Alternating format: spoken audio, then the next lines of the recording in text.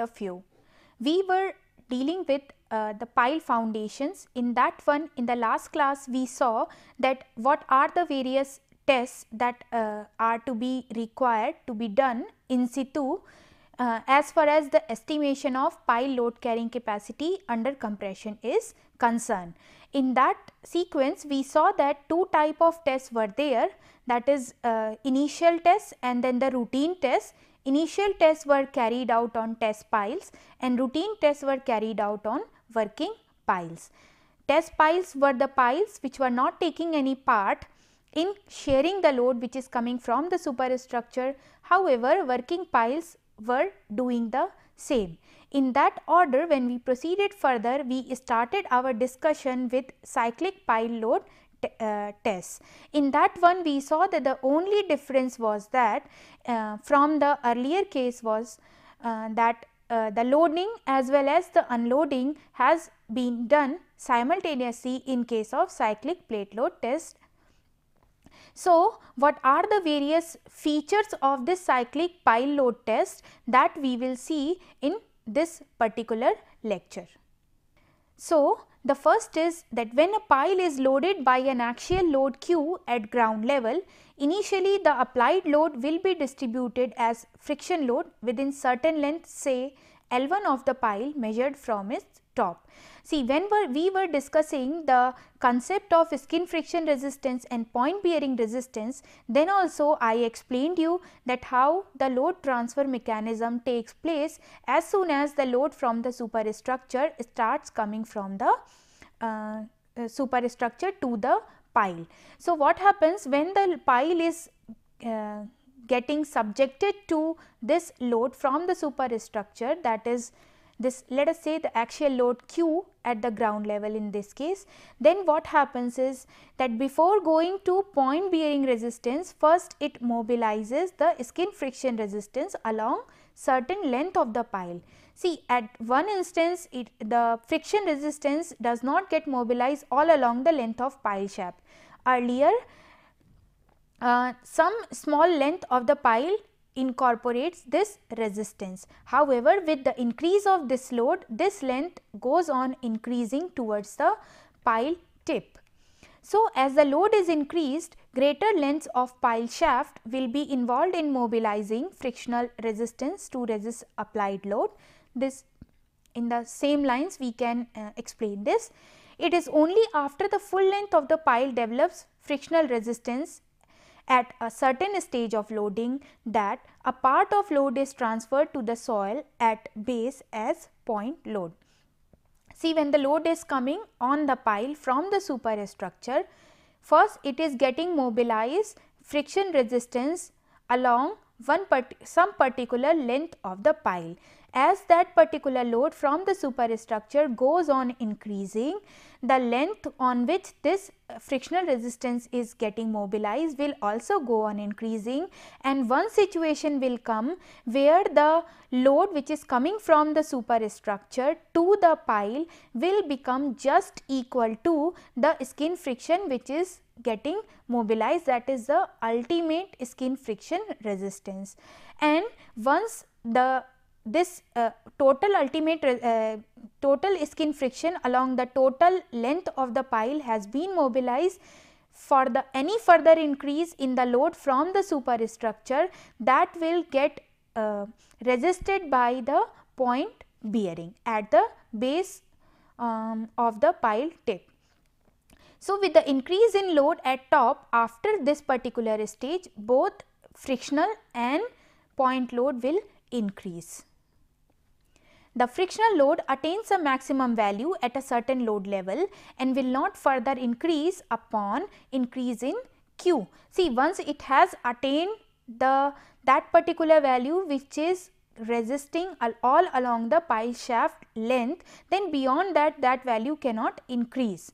So, uh, this there is no increase in frictional component uh, once this ultimate skin friction value has been achieved.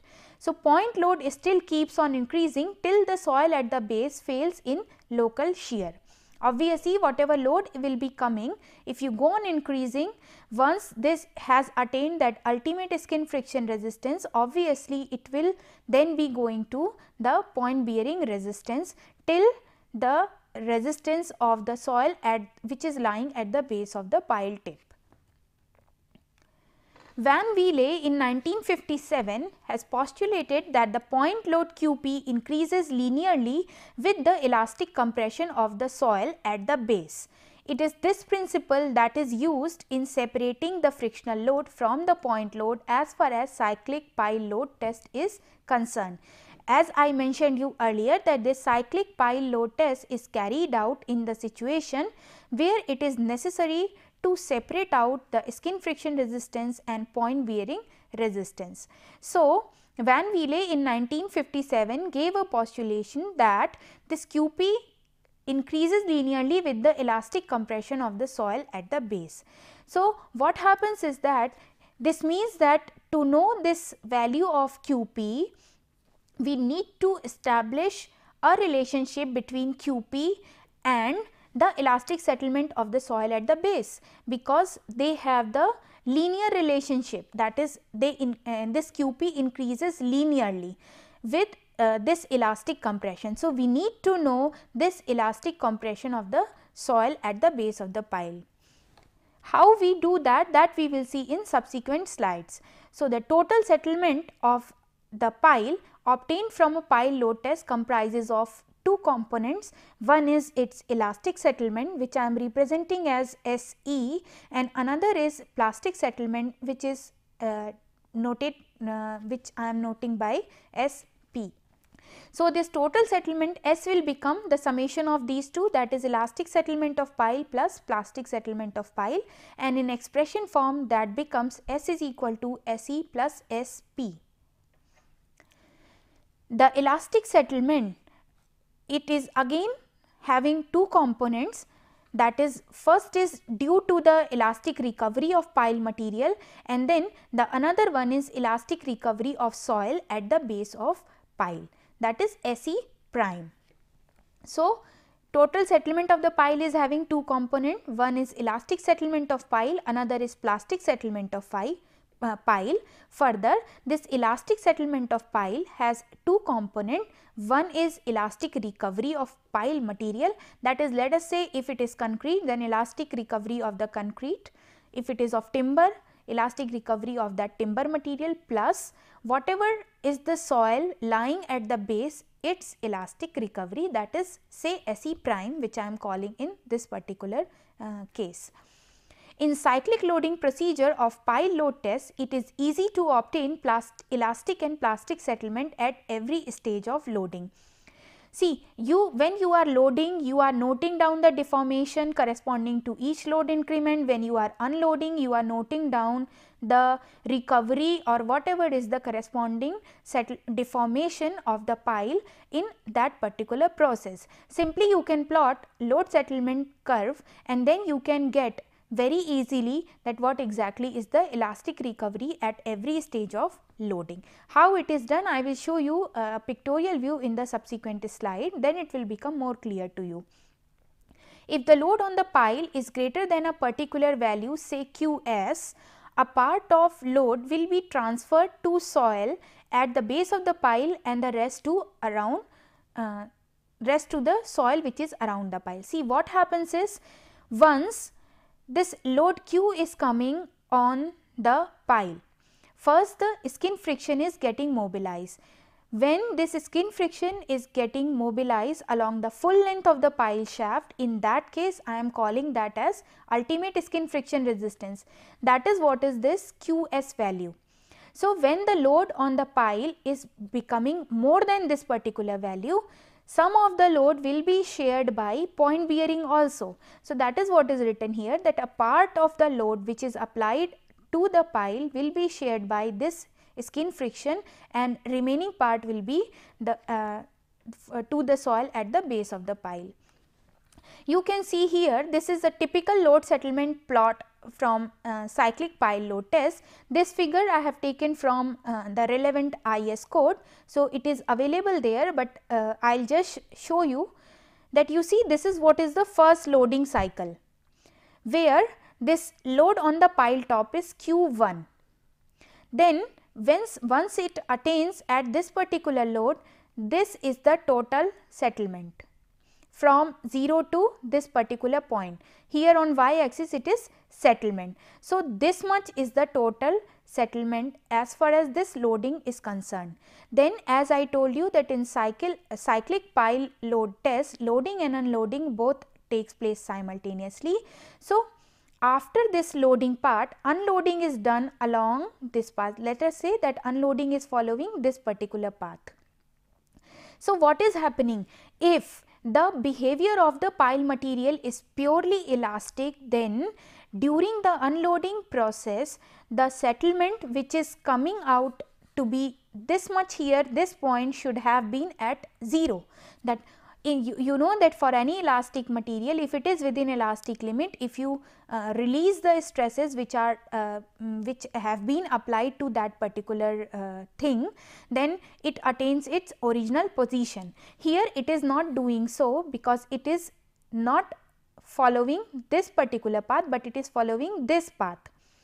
So which which tells us that it's not purely elastic material. There is some plastic uh, nature also. That is why the total settlement of the pile comprises of two component one is elastic component and another is plastic component. So, corresponding to this load q1 the settlement which was attained was this much and when the unloading has been done it is coming down to this one that means that this much part has been recovered. So, the point from here to here which has been recovered this particular part is known as the elastic settlement of pile for the first uh, loading cycle. However, the remaining one is the plastic settlement which cannot be recovered. Now, from here the next increment of the load has been applied to the pile that is this one let us say that that load increment corresponds to the value Q2. Now, for this Q2 again you will be getting some of the deformation and when the unloading is done let us say that it is following this particular path, this path.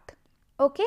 So, what, what is the recovery that is from where it is started so, this, this becomes the elastic recovery that is corresponding to this maximum settlement whatever it has recovered.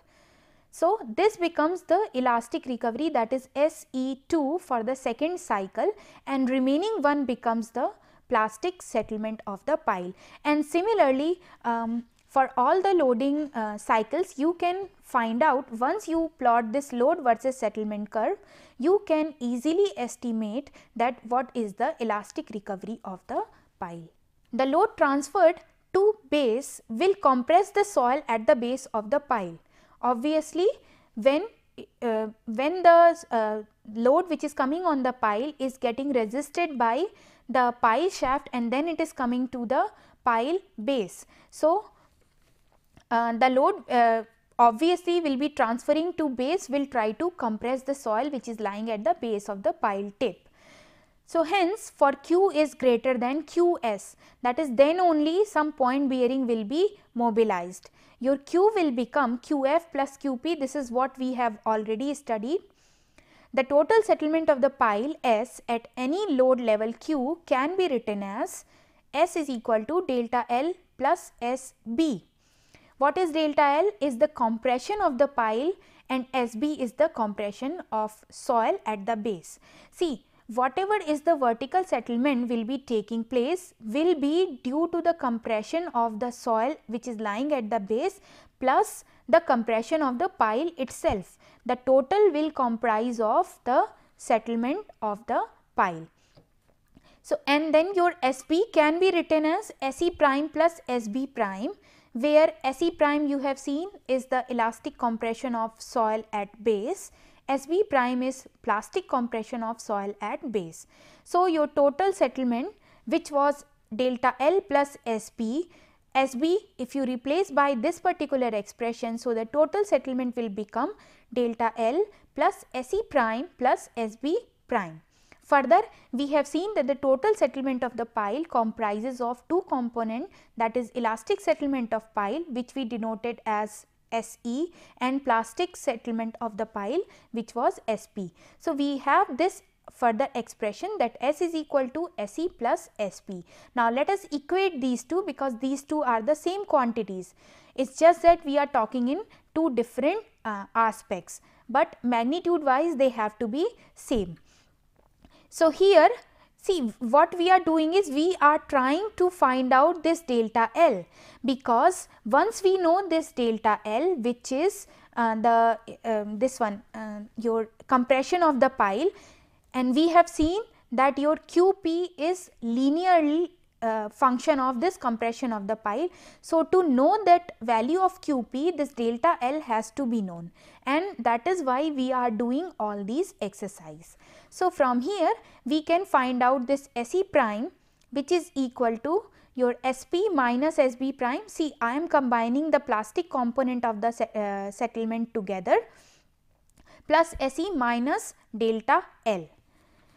So, the elastic compression at uh, of soil at the base SE prime can be computed if you see here it can be computed if all these quantities are known that is SP, SB prime, SE and delta L.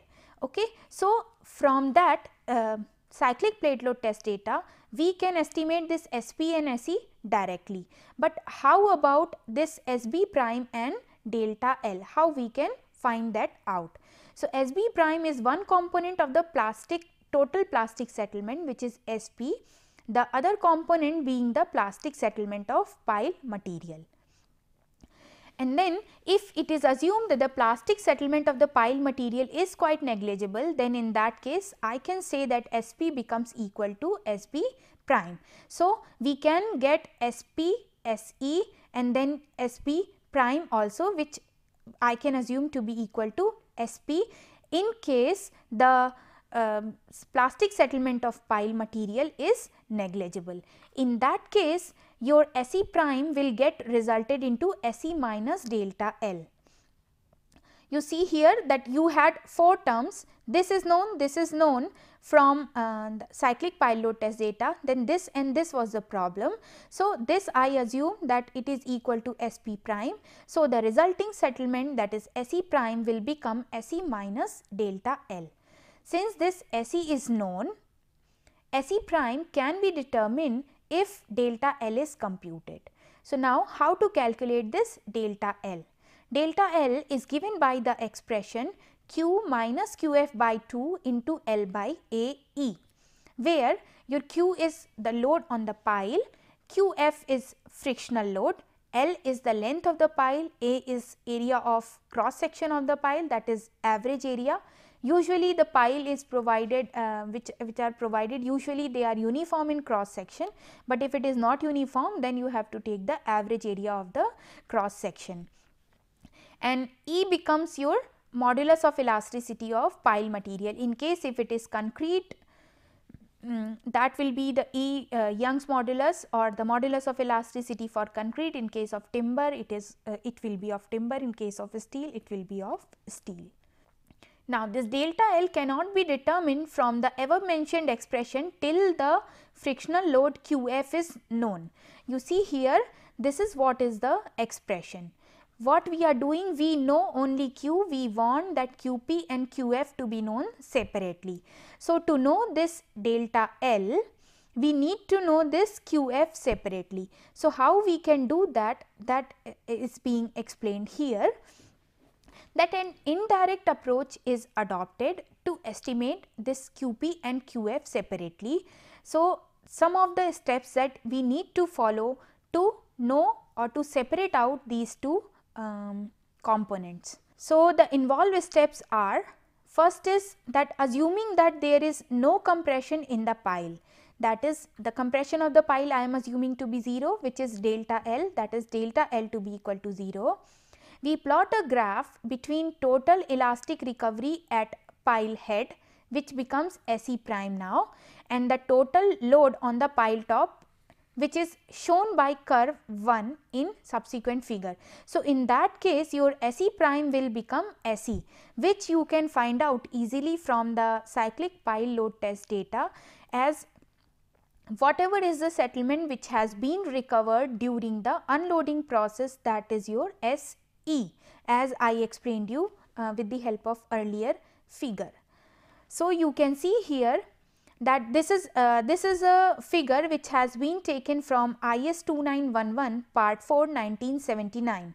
So, uh, this is what is uh, uh, the title is analysis of cyclic pile load test data for separation of skin friction and point resistance.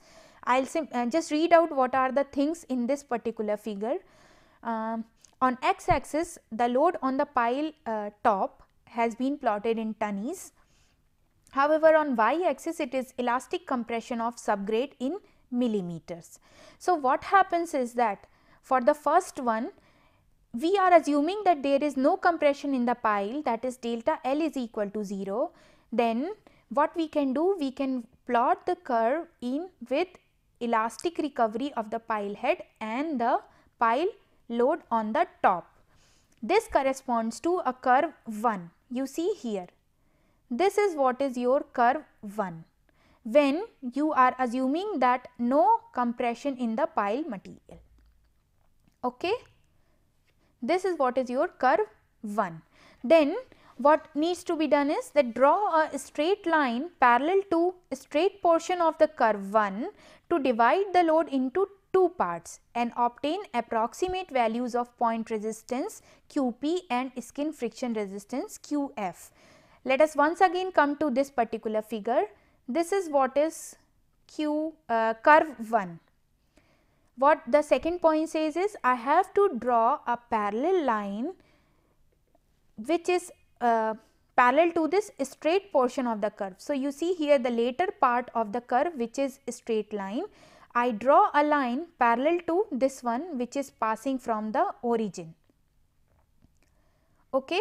So, this much part will be represented by the point resistance and the remaining part between this uh, this parallel line and your actual curve will give me the part which is shared by the skin friction. So, you see you take any particular uh, compression of the sub uh, subgrade you take this particular part which is the point bearing that is at this particular level you see this is what is the point bearing and the remaining is skin friction at that particular point. So, this is how approximately we are separating out QP and QF. Now, using the approximate value of skin friction QF for different load levels compute corresponding elastic compression of the pile. You remember that elastic compression of the pile delta L was equal to Q minus QF by 2 into L by AE. So, there QF was not known. So, earlier we assumed that delta L is equal to 0 and then approximately we found out that what is the value of QF. Now, once we know this approximate value of QF, we go for another iteration that is assuming this approximate value of QF and putting in that particular expression for delta L, we can estimate the value of delta L at different load levels. So, you see here this is what is your point bearing and the remaining part is skin friction. Since earlier we do not know that what exactly is the case, so delta L has been assumed to be 0 and this curve 1 has been plotted. Then a line parallel to the straight part of this particular curve has been drawn in this case like this the the intercept of between this axis and this particular parallel line gives me the value of point resistance and the remaining part gives me the approximate value of skin friction resistance. Now, let us see what are the uh, further steps. Once we know this delta L at different load levels, obtain we can obtain the corresponding values of elastic compressions of soil at the base of pile that is SE prime it was uh, because while we were finding out that SE prime the problem was that how we can calculate the value of delta L. So, now we have the value of delta L. So, we can easily compute the value um, this uh, elastic compression of the soil at base. So, with this new value we can plot a new curve 2 that is uh, using these new values of SE prime against corresponding loads. I will show you that how exactly it is there you see here this is uh, once you know uh, this this was the curve 1 you can see here that knowing the next two values you have this particular curve which is curve 2 you see these new new values. So the curve 2 has been plotted. Then in the similar manner as we did for the case of curve 1 here also new straight line which is parallel to the straight portion of this curve 2 has been drawn from the origin. Then uh, you can separate out corresponding uh, QP and QF value that is point bearing resistance and skin friction resistance in this case also and then you can repeat the steps from 3 and 4 to obtain the new value of SE prime and then you can again plot another new curve uh, that is let us say 3 in this particular figure that I will be showing right now.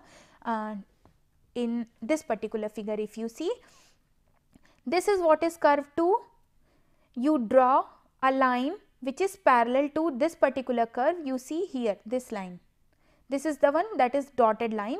So, this much particular part will be point resistance and this one will be skin friction resistance. So, again now you have got new new set of values of QF. So, correspondingly you can find out the new set of values of delta L and subsequently SE prime. Then with these new values what you can do? You can plot this curve 3. You see here this is what is your curve 3 okay? And if you can see here that curve 2 and curve 3 they are so close to each other. And when you draw a line parallel to the straight portion of this curve 3 that is this firm line if you can see here in this figure that these line which was parallel corresponding to curve 2 and the line parallel corresponding to curve 3 they are quite close to each other. So, usually this third iteration gives me the uh, proper value. So, this process may be repeated till reasonably accurate values of QP and QF uh, they are obtained. It has been seen that the third trial gives sufficiently accurate values for all practical purposes. So, first first trial was done using delta L is equal to 0 and then approximate value of QF was estimated. From that approximate value another set of delta L value was estimated and then another set of SE value was estimated and again that the load settlement curve was plotted that was curve 2 and from there uh, the line parallel to the straight portion of the curve 2 was drawn and then repeating the earlier steps which was followed for the curve 1 um, you could found out that what is the uh, point bearing and the skin friction resistance in corresponding to this curve 2 also. And then using the new set of values of QF and then you can uh, find out the new set of values of delta L and SE prime and it has been seen that third trial gives you um, reasonably accurate values of QP and QF for all practical purposes. Then to obtain the safe pile capacity, a factor of safety of 2 on the ultimate friction resistance and 2.5 on the ultimate point bearing resistance can be applied usually uh, for all practical purposes we usually apply uh, the uh, exactly the same uh, factor of safety for both skin friction resistance and point bearing resistance. However, in case where it becomes necessary to get QP that is point bearing resistance and QS that is skin friction resistance separately, there in that case you can use factor of safety of 2 for uh, um, ultimate skin friction resistance and 2.5 for uh, ultimate point bearing resistance. Now, let us try to see with the help of an example that how this uh, data from cyclic pile load test uh, can be interpreted and analyzed. So, let us try to see with the help of an example that how this cyclic pile load test data can be interpreted and analyzed further to uh, estimate the load carrying capacity of the pile. So, the statement of the example goes like this that the following data refers to a cyclic pile load test carried out on a 300 millimeter diameter 10 meter long pile. Plot the load set settlement curve and estimate the allowable load of the pile as per Indian standard code of practice. So, this is what is the data which has been given you in the problem that you see here load on the pile top it is 150, 200, 250, 300, 400, 500 and 600 and then total settlement of the pile top uh, corresponding to 150 kilonewton is 1.45 then 2.25 2.75 3.60 5.75 10.75 and 30 millimeter.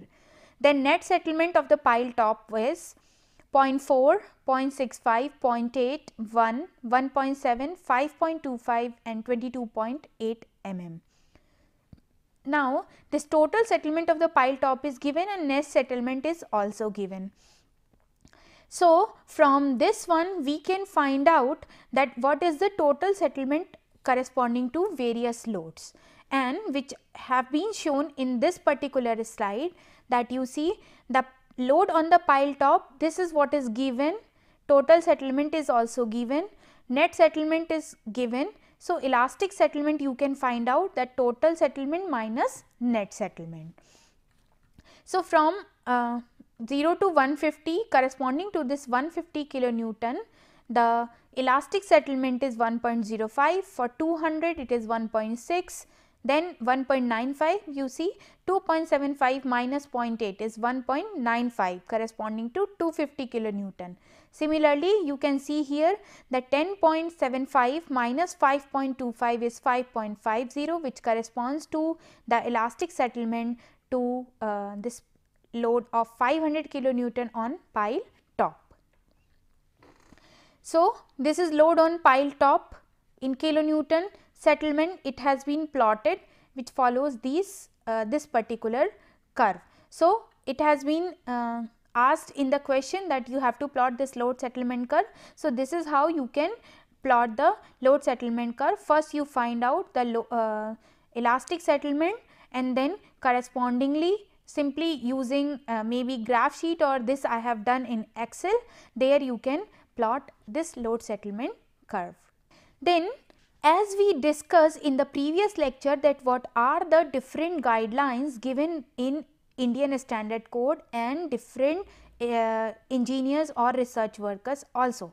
So, here this I am dealing with because you have to find out this allowable load on the pile as per Indian Standard Code of Practice. So, whatever are the guidelines which are available in uh, IS code that you have to take care of here in this case that as per IS 2911 part 4 1979 the allowable load on pile is given by two third the load causing 12 mm settlement so, you see here go back to this particular curve. See it is very important to draw first this load settlement curve. Once you have drawn this half of the work is over. So, 12 mm settlement was given since no specification has been given in this particular problem. So, you have to consider 12 mm of the settlement.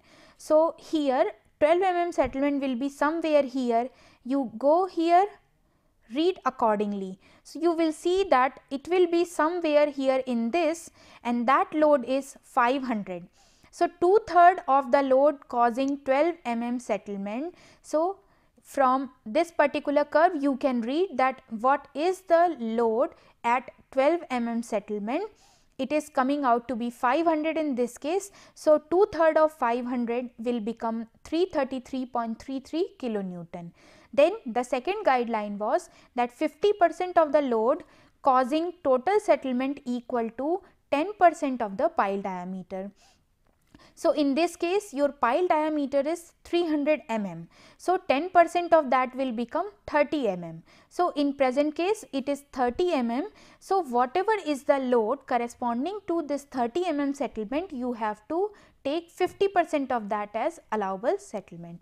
So, you see here the settlement correspond uh, settlement of 30 mm if you go back to this particular figure this 30 mm you take draw a line parallel to this axis. So, 30 mm you come here and then read this value corresponding to uh, this particular point where the uh, line intersects this particular load settlement curve and then you can see that here that is you are getting a value of 600 kilonewton corresponding to a settlement of 30 mm in this particular case. So, Q allowable from this particular consideration will be half of this 600 which is 300 kilonewton and as I told you earlier that out of these different considerations you have to pick the minimum value which you are getting.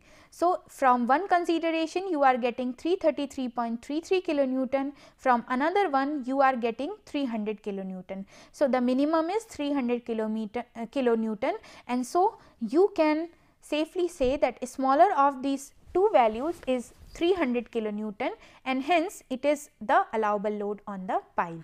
So, you saw that when we were discussing theoretically it was looking lit, uh, little bit difficult, but if you follow them uh, properly then it is not at all difficult when you once you draw load settlement cur curve after that things become very easy. Simply you have to follow whatever are the guidelines which are given in IS code or maybe if you are uh, using let us say if you are in some other country uh, and uh, trying to find out this allowable load. So, whatever is the relevant code in that particular country you pick that there will be some guidelines exactly on the similar lines to estimate this allowable load on the piles.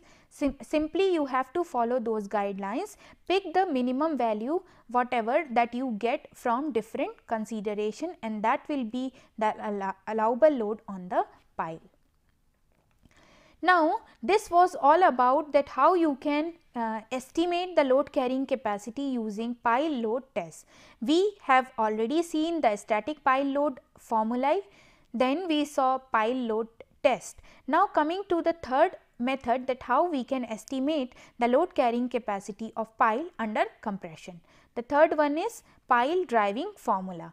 As we are we see that here this word static has been used and you know that when we were discussing the two types of uh, method of installation of pile once is driving the pile another is by boring and in that driving one we saw that it is done uh, with the help of mechanical hammering or giving vibrations and all. So, here basically dynamics comes into picture. In the first case it was a static pile load uh, uh, formula. However, in this uh, third one uh, usually dynamics that what exactly is the type of hammer, what is the weight of the hammer, what is the efficiency of the um, total machine that you are using for hammering the pile for driving then uh, what exactly is the uh, eccentricity and all other things that you need to um, uh, see and let us see that what are the various aspects of uh, this particular type to know the um, load carrying capacity of pile. They are sometimes they are termed as dynamic pile formulae also. Why it is so? You will be appreciating this particular name after uh, studying little bit detail of this particular type. So, these formulae are based on the laws governing the impact of elastic bodies. I hope that uh, you are familiar with the coefficient of restitution that you must, uh, must have studied in your BTech first year class uh, while you studied your applied mechanics uh, and that engineering mechanics uh, thing. So, the input energy of a hammer blow is equated to the work done in overcoming the resistance of the ground to the penetration of the pile. So, this is what is the main principle on basis of which this dynamic pile formula has been derived. We will not be going into detail of the derivation of this particular formula. However, it is very much necessary for you to know that what exactly is this formula, what are the various terms which are used in this particular formula, what are their physical meaning that how exactly they represent any physical parameter. So, you should always remember that in the case of pile driving formula, it is what is the mechanical work and this particular principle that input energy of a hammer blow is equated to the work done in overcoming the resistance of the ground to the penetration of the pile. It is equated and this is the basic principle of the dynamic pile formula. Allowance is made for losses of energy due to elastic contractions of pile, pile cap and subsoil and losses due to inertia of pile. You see when the energy is being imparted from the hammer to the pile as such we say that the whatever energy we give the uh, there is conservation of the energy of the uh, that particular law is there. So, whatever is the energy that you give either it will just dissipate and some of the uh, some of the energy will get dissipate and rest all will be taken by the pile in resisting its movement uh, uh, with uh, in the ground. So, uh, in that particular process when the hammering takes place there are losses of energy due to the elastic contraction of the pile that means that we just have to take into account the energy which is being used by the pile for the resisting the vertical movement.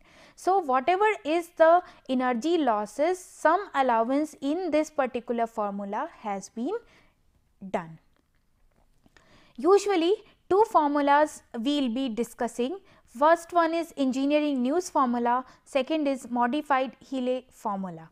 So, let us first discuss uh, the salient features or what exactly is this engineering news formula.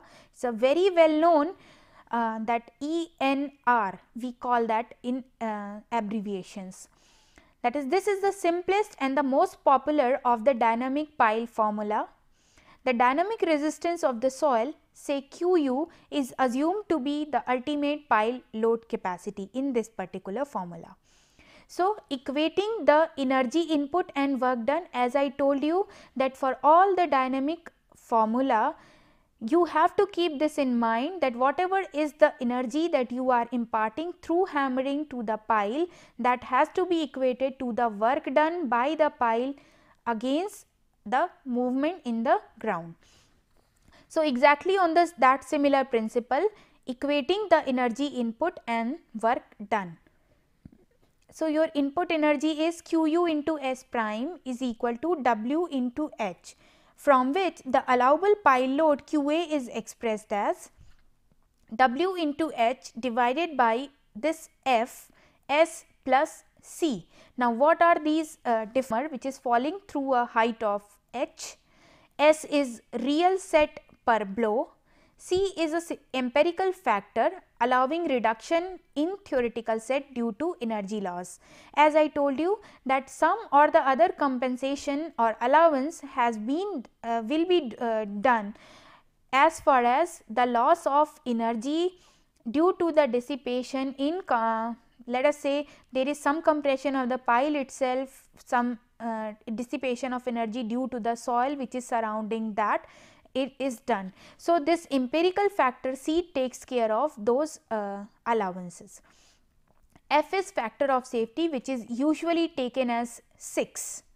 You can see here that such a high factor of safety has been taken into account. However, in case of static pile load formulae that was of the order of 2.5 and uh, in case uh, of cyclic pile load test data uh, while analyzing um, the test data it was uh, 2 for uh, skin friction resistance and 2.5 for point bearing resistance. However, in this case in case of dynamic uh, pile formula this factor of safety is usually taken as 6. So, the theoretical set which is S prime is equal to S plus C.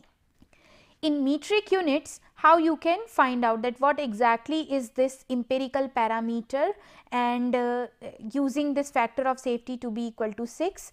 So, in metric units the equation may be written as for drop hammers uh, see as I told you that we will not be going into much detail of the mechanical aspect of uh, this particular dynamic test. However, we will be concentrating on that how we can estimate the allowable load carrying capacity using these formula. So, uh, you must be knowing from uh, some of the courses that you have done as far as mechanical engineering is concerned that what exactly do we mean by drop hammers or single acting steam hammers etc. So, in case the drop hammers uh, has been used while driving the pile QA that is allowable load capacity of the pile becomes WH divided by 6 S plus 2.5. However, in case of single acting steam hammers, it is WH by 6 S plus 0.25, where QA and W they are expressed in kilogram. It is not in newtons, it is kilogram. H is fall of hammer or length of piston stroke. In case of single acting steam hammers, it, it will be length of piston stroke in centimeters. S is the final set in centimeter per blow. What exactly do we mean by this S that we are calling as set? It is usually taken as average penetration for the last 5 blows of a drop hammer or 20 blows of a steam hammer.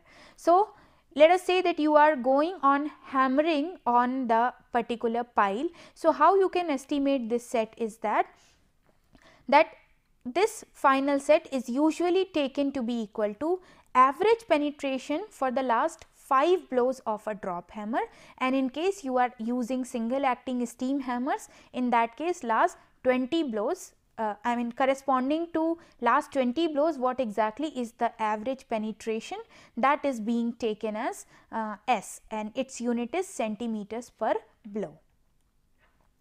The allowable pile load is also expressed in another form which is this 166.64 E divided by S plus 2.54 where these uh, QA it is in kilonewton that is allowable pile load you will get in kilonewton. E is energy per blow in kilojoules that is kJ. S is average penetration in millimeter per blow for the final 150 mm of driving. The minimum permissible value of S is equal to 1.25 mm. So, let us say that in your case uh, this S value that is average penetration per blow for final 150 mm of driving is working out to be more than 1.25 then in that case you have to restrict it to 1.25. So, the permissible value is 1.25. If it is uh, working out to be less than that, you have to take this 1.25 and if it is coming out to be more, you can go ahead with that value. Now, due to the advantage that pile capacity can be conveniently worked out during driving and also due to its simplicity, engineering news formula is extensively used internationally. You have seen that it is a very simple formula. You just require to have weight of the uh, hammer, height of its fall, what exactly is the type of the hammer that you are using, its final set and then simply you substitute all these values into that uh, simple formula and you get a rough estimate of allowable load on the pile and due to these features of this engineering news formula it is very popular and used extensively all over the world. Now let us try to see, I told you that there are two formulas, one was engineering news formula, another one is modified Hiley formula. So let us try to see that what exactly are the salient features of modified Hiley formula, how we can use this particular formula to estimate the allowable load on the pile. It is considered to be superior to engineering news formula as it takes into account various energy losses during driving in a more realistic manner. Although in engineering news formula we used an empirical factor that is C uh, with uh, combination of final set of in engineering news formula. However, there it was empirical, but this in modified Hiley formula we take more realistic and more logical uh, factors as far as the losses of the energy in different aspects are concerned. So, again the principle basic principle remaining the same that whatever is the energy to be supplied to the pile that is equal to the work done. So, here also equating the available energy with useful work done and losses. R is equal to W H eta divided by S plus C by 2 where this C is equal to C1 plus C2 plus C3 and if you substitute that this R will become W H eta divided by S plus C1 plus C2 plus C3 by 2. Now, let us try to have a look that what are these particular parameters, how they can be estimated or what is the recommended values of these uh, parameters, where your R is ultimate driving resistance in tonnes. So, you, you see since these are the dynamic formula is every time the units are changing. So, you have to keep a track that in which formula which type or which type of unit and uh, which particular system of the unit that you have to follow. So, this R is ultimate driving resistance in tonnes. The safe load is estimated by dividing the ultimate driving resistance by a factor of safety of 2.5. In earlier case the factor of safety that is in engineering news formula the factor of safety was taken to be 6. However, in this case once you estimate the value of this R you have to simply divide it by factor of safety of 2.5 to get the safe load which can be uh, there on the pile. W is weight of hammer in tonnes, then eta is the efficiency of the blow that represents the ratio of energy after impact to the striking energy of the ram. So, eta is the efficiency. We will not be uh, actually the thing is that uh, whatever is the type of uh, uh hammer that you will be using, uh, usually manufacturer provides us uh, this particular value of the efficiency. However, if you go by mechanic mechanical principles then this eta has a definition which is the ratio of energy after the impact to the striking energy of the ram which is usually the uh, machine specific. So, whatever is the type of machine that you are using for hammering the, uh, with that particular uh, machine this value will be supplied. Now, what are the other parameters and uh, what are the main features of this particular formula, how you can utilize this, this all we will be discussing in the next class. So, in this class we discuss that how you can uh, go ahead with the pile load test. Then we started with the cyclic pile load test. In that case, the only difference was that the loading and the unloading was done simultaneously.